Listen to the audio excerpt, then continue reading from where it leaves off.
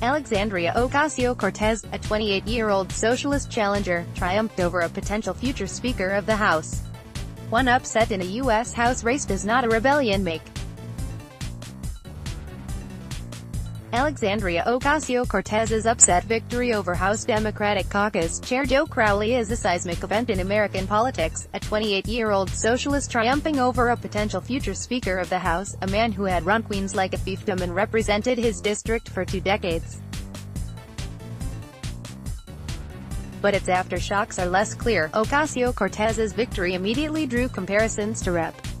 Dave Brat's RVA win over then House Majority Leader Eric Cantor in the 2014 primaries. It makes sense. Both Ocasio-Cortez and Brat shockingly upset members of House leadership in primaries fueled in part by sharp ideological differences and a belief the incumbent had grown out of touch with their home districts. They both overcame massive fundraising disadvantages with grassroots organizing, but there's a crucial difference. Cantor's loss came in the middle of the electoral earthquakes caused by the Tea Party's incessant jackhammering away in favor of conservative ideals.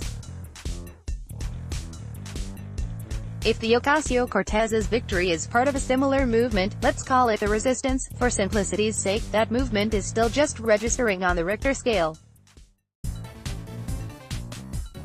Cycle, three establishment-backed Democrats have lost U.S. House primaries, Crowley, former Rep. Brad Ashford in Nebraska, and Juanita Perez Williams in a House district centered around Syracuse, New York. There's still time for more upsets 19 more states have to hold their primaries, and some Democrats, hello, Massachusetts Rep. Mike Capuano, should be scared by Crowley's defeat.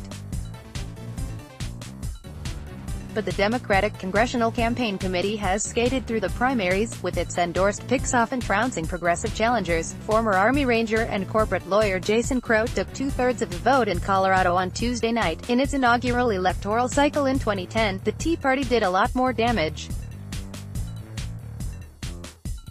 Former Rep. Pat Toomey chased Pennsylvania Senator Arlen Specter out of the GOP entirely. Mike Lee shockingly ousted three-term Senator Bob Bennett at a Utah GOP convention. Kentucky's Rand Paul shocked GOP Senate leader Mitch McConnell's handpicked candidate in his own state.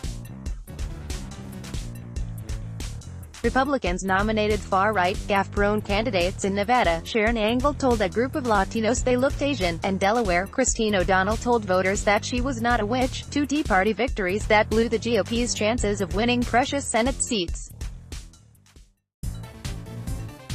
We make a great mistake if we believe that these results are somehow an embrace of the Republican Party, a freshly elected Sen.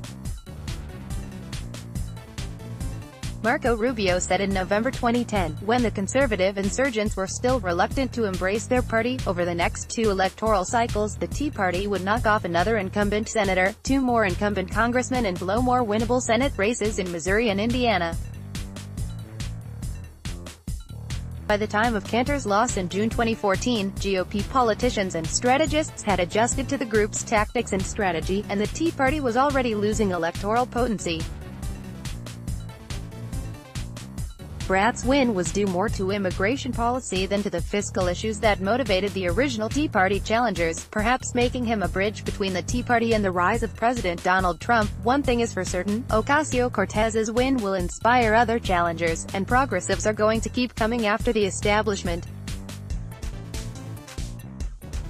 In big, statewide races, progressives have two major wins in the last year, Stacey Abrams' triumph in the Georgia governor's race, and former NAACP head Ben Jealous win in the Maryland gubernatorial primary. But large parts of the National Party, including big names like California Senator Kamala Harris and Vermont Sen. Bernie Sanders backed both candidates, even as state-level establishments resisted. Progressive challengers have made no impact on the 2018 Senate landscape. The highest-profile inter-party Democratic challenger, California State Senate President Kevin De Leon, earned a mere 11% of the vote, 33 percentage points behind the incumbent, Dianne Feinstein. North Dakota's Heidi Heitkamp in West Virginia Sen. Joe Manchin, two Trump-friendly incumbents who have discussed joining the president's cabinet, swatted away primary challengers like flies. In Arizona, a blue trending state that could make or break Senate control, the Democratic nominee is all but certain to be Rep. Kyrsten Sinema, who votes with Trump nearly 60% of the time. Part of this is a matter of leadership. South Carolina Sen. Jim DeMint famously declared he'd rather have 30 Marco Rubios in the Senate than 60 Arlen Specters. At the time, conservatives considered Rubio a paragon of integrity, not a spineless flip-flopper like Specter. He helped groups like the Senate Conservatives Fund and the Club for Growth fund primary challenges. No Democratic leader has stepped up in a similar way. Massachusetts Sen. Elizabeth Warren has shown more interest in fundraising for her vulnerable colleagues than displacing them with someone more liberal, and Sen. Sanders' Our Revolution is less confrontational, with a record that is mixed at best, and there's a key difference between the Tea Party challenges, which were purely ideological, and the generational and identity challenges that Democrats are facing. There are plenty of middle-aged moderate white men in the House and Senate Democratic caucuses, but few of them represent districts that are as diverse, 48.2% Latino, and as young, only 12% of the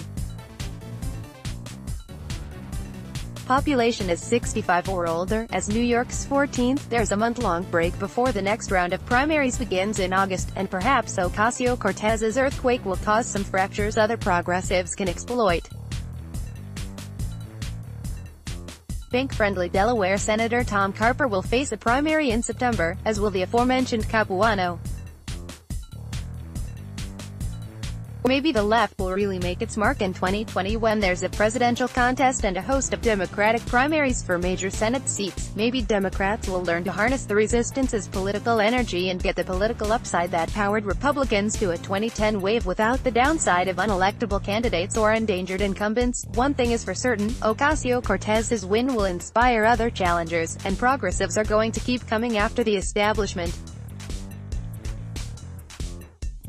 Just ask her. This is not an end, this is the beginning, she said in her victory speech. This is the beginning because the message that we sent the world tonight is that it's not okay to put donors before your community. Download Do you have information you want to share with HuffPost? Here's how.